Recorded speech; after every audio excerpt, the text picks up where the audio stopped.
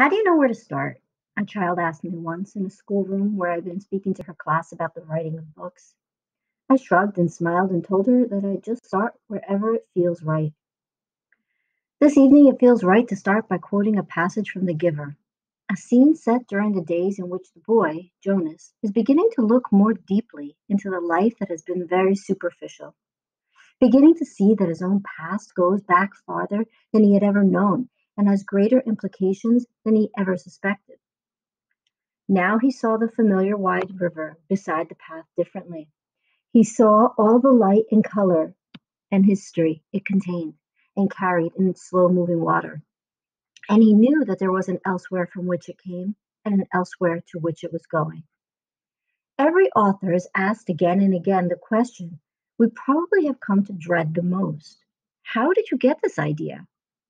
We give glib, quick answers because there are other hands raised, other kids in the audience waiting.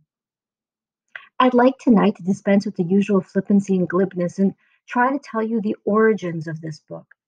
It's a little like Jonas looking into the river and realizing it carries with it everything that has come from and elsewhere.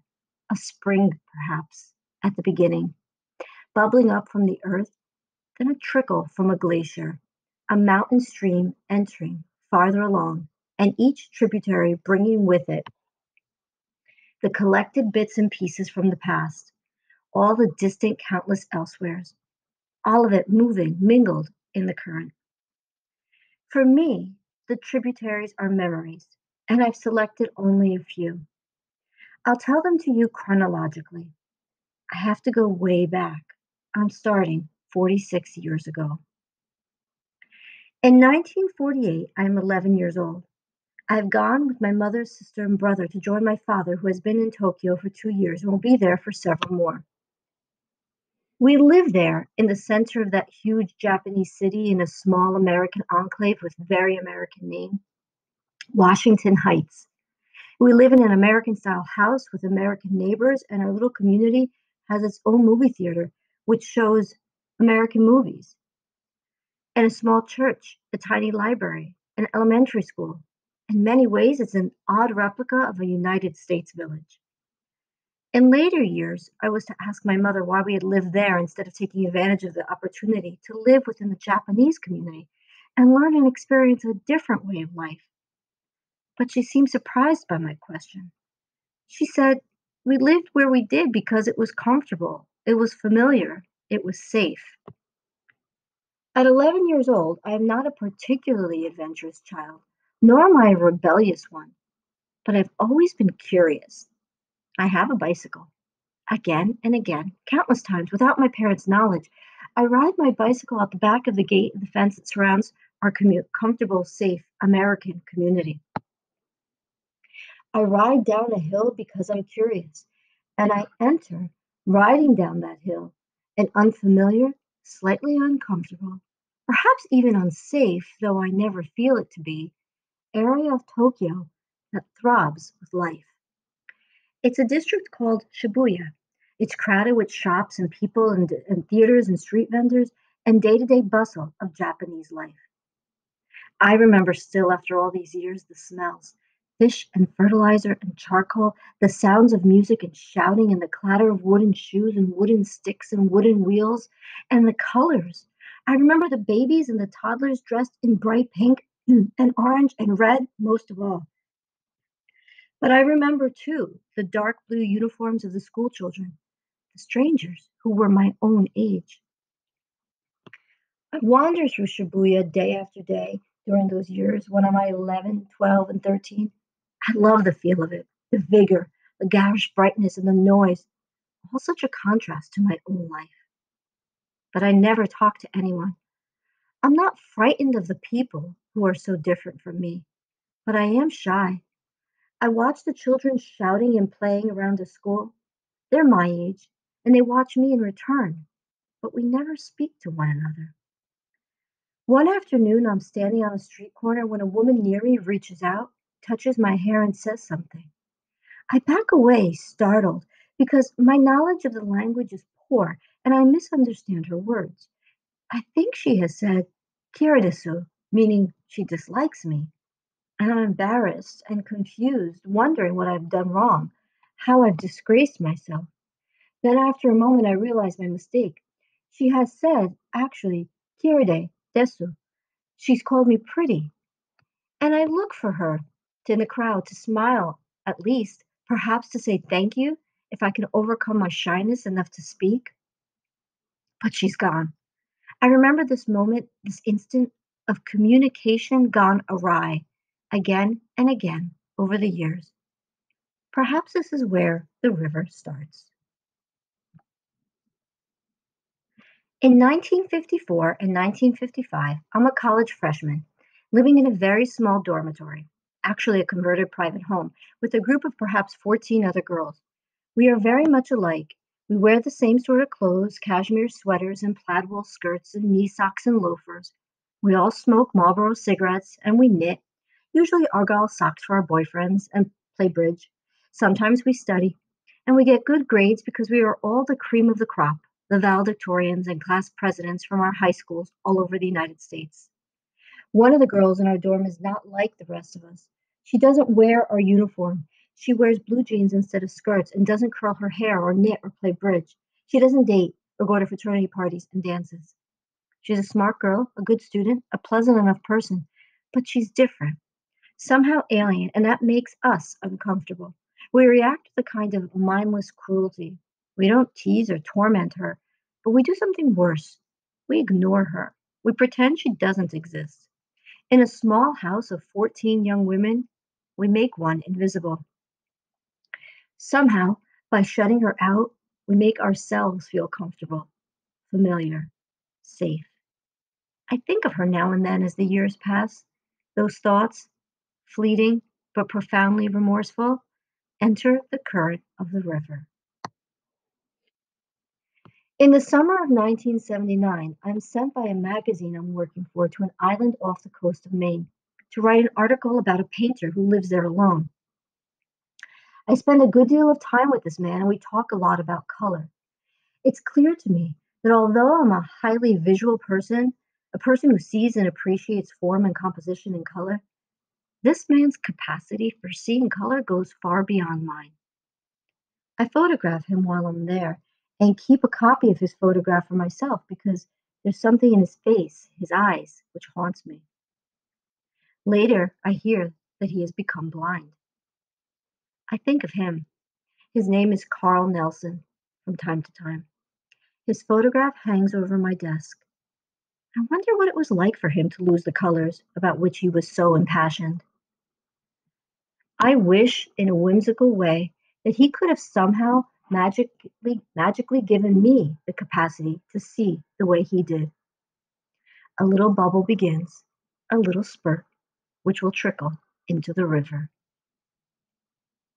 In 1989, I go to a small village in Germany to attend the wedding of one of my sons. In an ancient church, he marries his Margaret in a ceremony conducted in a language I do not speak and cannot understand. But one section of the service is in English, a woman stands in the balcony of that old stone church and sings her words from the Bible. Where you go, I will go. Your people will be my people. How small the world has become, I think, looking around this church at the many people who sit here wishing happiness to my son and his new wife, wishing it in their own language as I'm wishing it in mine. We are all each other's people, I find myself thinking. In another fragment, my father, nearing 90, is in a nursing home. My brother and I have hung family pictures on the walls of his room. During a visit, he and I are talking about the people in the pictures. One is my sister, my parents' first child, who died young of cancer. My father smiles, looking at her picture. That's your sister, he says happily. That's Helen. Then he comments a little puzzled, but not sad at all. I can't remember exactly what happened to her.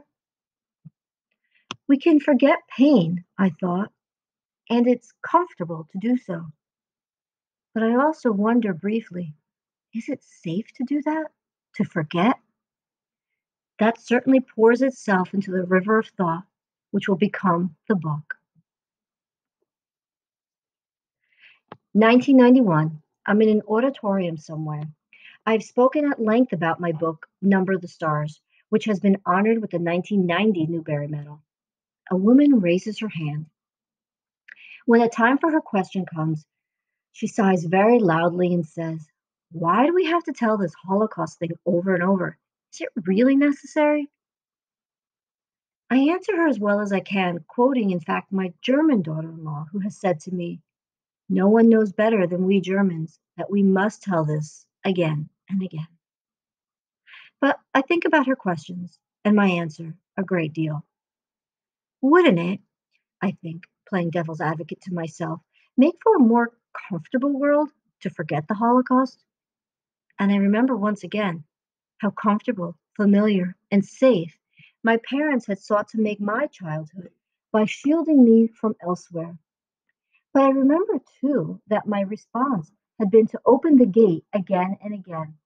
My instinct had been a child's attempt to see for myself what lay beyond the wall. The thinking that becomes another tributary into the river of thought that will create the giver. Here's another memory. I'm sitting in a booth with my daughter in a little Beaconville Beacon Hill pub, where she and I often have lunch together. The television is on the background. Behind her, the bar is always. She and I are talking. Suddenly, I gesture to her. I say, shh, because I heard a fragment of the news and I'm startled, anxious, and want to hear the rest. Someone has walked into a fast food place with an automatic weapon and randomly killed a number of people. My daughter stops talking and waits while I listen to the rest. Then I relax. I say to her in a relieved voice, It's all right. It was in Oklahoma, or perhaps it was Alabama or Indiana. She stares at me in amazement that I've said such a hideous thing. How comfortable I made myself feel for a moment by reducing my own realm of caring to my own familiar neighborhood.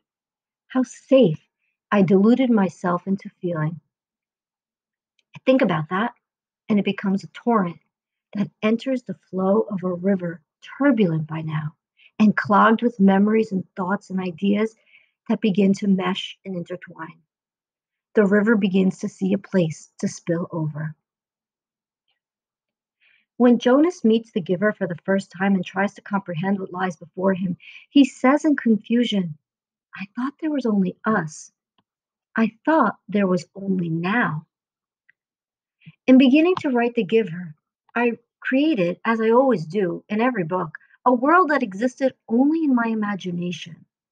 The world of only us, only now. I tried to make Jonas's world seem familiar, comfortable, and safe.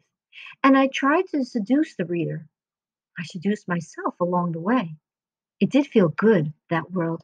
I got rid of all the things I fear and dislike all the violence and prejudice and poverty and injustice. I even threw in good manners as a way of life because I liked the idea of it. One child has pointed out in a letter that all the people in Jonas's world didn't even have to do the dishes. It was very, very tempting to leave it at that. But I've never been a writer of fairy tales.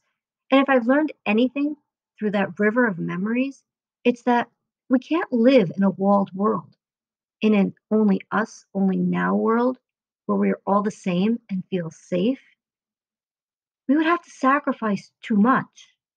The richness of color would disappear. Feelings for other humans would no longer be necessary. Choice would be obsolete. And besides, I had ridden my bike elsewhere as a child, and I liked it there, but I had never been brave enough to tell anyone about it. So it was time. A letter that I've kept for a long time is from a child who has read my book, Anastasia Krupnik. Her letter, she's a little girl named Paula from Louisville, Kentucky, says, I really liked the book you wrote about Anastasia and her family because it made me laugh every time I read it. I especially liked when it said she didn't she didn't want to have a baby brother in the house because she had to clean up after him every time and change his diaper. And when her mother and father aren't home, she doesn't like to give him a bath and watch him all the time and put him to sleep every night while her mother goes to work. Here's the fascinating thing nothing that child describes actually happens in the book. The child, as we all do, has brought her own life to a book. She has found a place, a place of pages in the book that shares her own frustrations and feelings. And the same thing is happening as I hoped it would happen with The Giver. Those of you who hope that I would stand here tonight and reveal the true ending, the right interpretation of the ending, will be disappointed. There isn't one. There's a right one for each of us, and it depends on our own beliefs, our own hopes. Let me tell you a few endings which are the right endings for a few children out of the many who have written to me. From a sixth grader I think that when they were traveling, they were traveling in a circle. When they came to elsewhere, it was their old community, but they had accepted the memories and all the feelings that go along with it.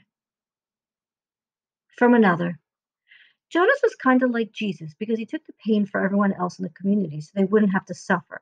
And at the very end of the book, when Jonas and Gabe reached a place that they knew was elsewhere, you described elsewhere as if it were heaven.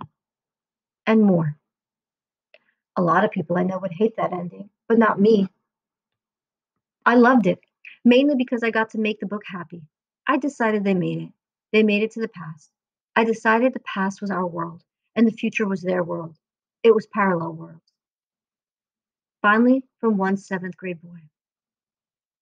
I was really surprised they just died in the end. That was a bummer. You could have made them stay alive, I thought. Very few find it a bummer. Most young readers who have written to me have perceived the magic of the circular journey. The truth is, we go out and come back. And that and that what we come back to has changed, and so are we. Perhaps I have been traveling in a circle too. Things come together and become complete. Here's what I've come back to.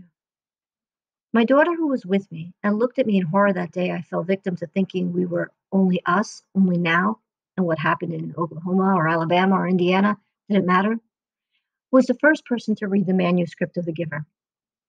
The college classmate who was different lives, last I heard, very happily in New Jersey with another woman who shares her life. I can only hope that she has forgiven those of us who are young in a more frightened and less enlightened time. My son and Margaret, his German wife, the one who reminded me of how important it is to tell our stories again and again, painful as they are, now have a little girl who will be the receiver of all their memories. Their daughter has crossed the Atlantic three times before she was six months old. Presumably, my granddaughter will never be afraid of elsewhere. Carl Nelson, the man who lost the colors but not the memory of them, is, the, is the face on the cover of the book. He died in 1989, but left a vibrant legacy of his paintings. One hangs now in my home. And I'm especially happy to stand here tonight on this platform with Allen Say, because it truly brings my journey full circle. Alan was 12 years old when I was. He lived in Shibuya, that alien elsewhere that I went to as a child on a bicycle. He was one of the other, the different, dark haired children in blue school uniforms, and I was too timid then to do more than stand on the edge of their schoolyard, smile shyly, and wonder what their lives were like. Now I can say to Allen what I wish I could have said to them. Watashi no tomodachi desu. Greetings, my friend. I have been asked whether the Newbery Medal is actually an odd sort of burden in terms of the greater responsibility one feels. Whether one is paralyzed by it, fearing the fearful of being able to live up to the standards it represents. For me, the opposite has been true. I think the 1990 Newbery freed me to risk failure. Other people took that risk with me. Of course, there was my editor, Walter Lorraine, who has never, to my knowledge, been afraid to take a chance. Walter cares more about what a book has to say than he does about whether he can turn it into a stuffed animal or a calendar or a movie. The Newbery Committee was gutsy. There could have been, would have been safer books, more familiar books.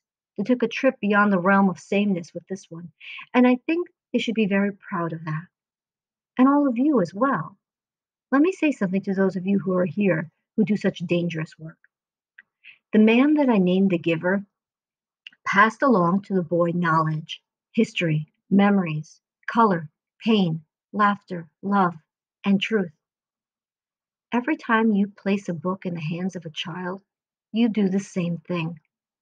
It is very risky.